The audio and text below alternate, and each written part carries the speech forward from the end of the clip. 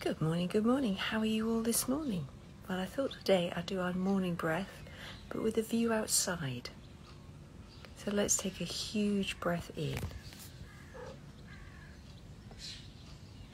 And then exhale, let the shoulders go, let everything go. Fabulous.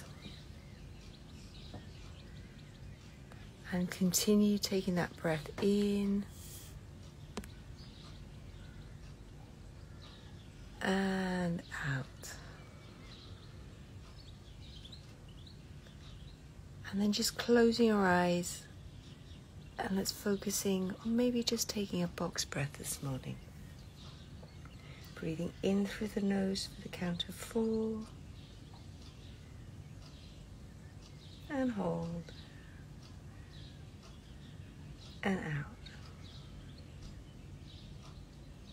and hold. And in. And hold. And out. And hold. And in. And pause. Breathing out and pause. Breathing in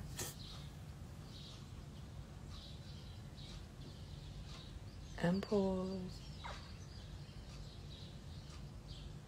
Breathing out and pause.